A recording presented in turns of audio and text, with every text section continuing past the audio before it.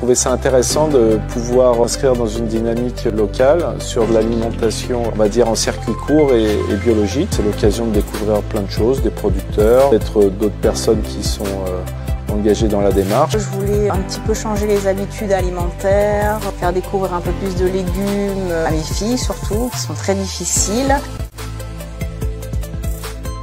Il y a eu plusieurs euh, temps forts, en particulier euh, la visite d'une ferme ou plutôt d'un producteur. Ça a permis euh, de voir comment la production était faite au niveau local et la, qualité des, fruits et légumes qui pouvaient être produits. On a pu participer à divers ateliers, l'atelier anti-gaspillage, donc euh, les méthodes de conservation, et pas mal de défis un peu variés, pas mal de choses aussi autour de la cuisine.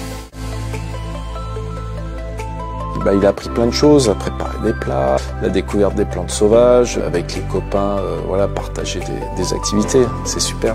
Les filles, le fait de cuisiner avec nous, ça leur donne envie de découvrir euh, maintenant plus les fruits et légumes. C'est très positif.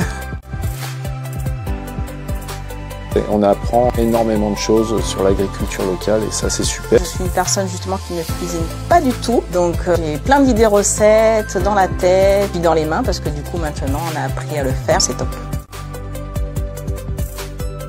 Se rendre compte qu'on peut manger localement et à des prix attractifs. Oui là euh, c'est bon, on est bien lancé.